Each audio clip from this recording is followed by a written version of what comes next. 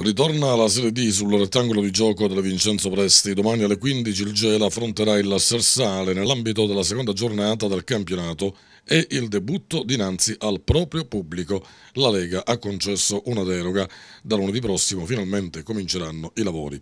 Giocare davanti ai propri tifosi e sul proprio campo è importante.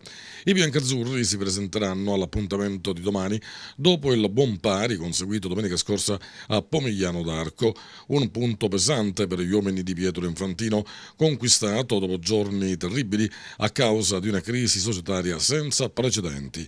Finalmente la burrasca è passata.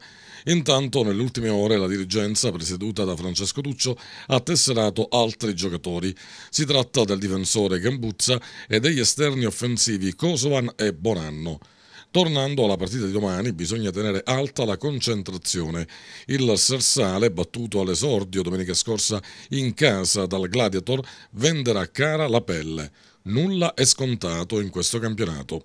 Intanto ieri pomeriggio sono stati presentati gli imprenditori gelesi da anni residenti nel nord Italia in cui lavorano che hanno sposato il progetto Gela. Si tratta di Angelo, Emanuele e Antonio Mendola.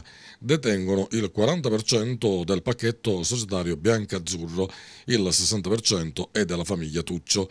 Hanno detto sì al Gela perché crediamo, hanno riferito, che le imprese debbano investire nel sociale e nello sport. Il gruppo Mendola entra in questa società con quale scopo, con quale obiettivo Mendola? Allora io um, devo ringraziare ehm, diciamo, l'ingegner Tuccio uh, la quale ci ha uh, fatto entrare sul, um, sulla diligenza col 40% perché abbiamo visto anche diciamo, che alcuni imprenditori si sono fatti avanti però hanno individuato il nostro gruppo. Uh, da lì noi abbiamo deciso di entrare perché chiaramente essendo, ess, eh, essendo che siamo gelesi eh, abbiamo visto, diciamo, come dire, eh, abbiamo dato una mano alla città di Gela.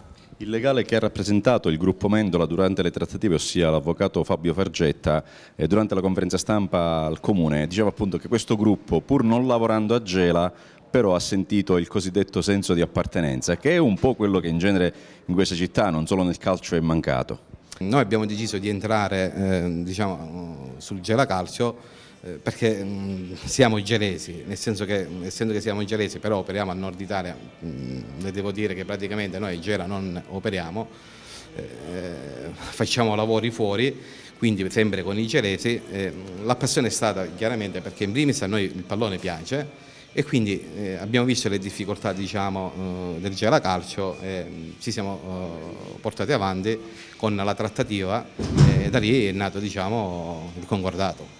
40% come inizio o 40% come punto d'arrivo? Volevamo prendere il titolo a pieno ritmo, però questo non è possibile perché il gruppo ha deciso per il momento di eh, essere diciamo, in vetrina e verificare un attimo eh, come vanno le cose con la dirigenza, tutto lì diciamo il discorso. Per concludere, tre fratelli, però il vero calciofilo mi pare di capire è proprio lei.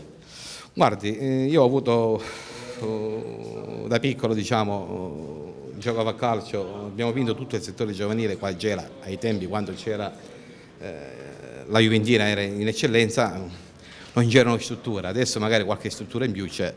Eh, poi ho fatto tutta la trafila del Licata Calcio ai tempi diciamo, del professionismo, eh, tempi di Zeman, ho fatto tutto il settore giovanile.